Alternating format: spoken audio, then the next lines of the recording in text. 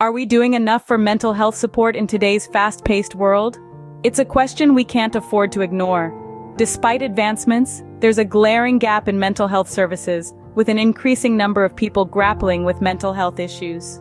The World Health Organization reports that nearly one in four people worldwide will be affected by mental or neurological disorders at some point in their lives.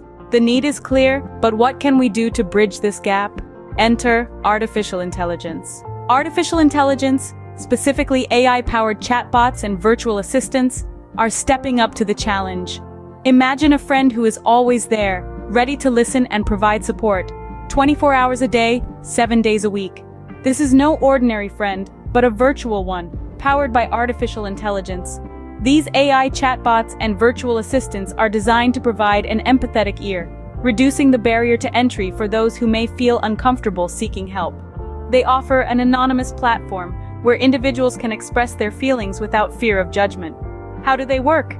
They employ machine learning, a subset of AI, to better understand and respond to users over time. By analyzing patterns in dialogue, these AI tools can provide personalized responses, fostering a sense of understanding and empathy.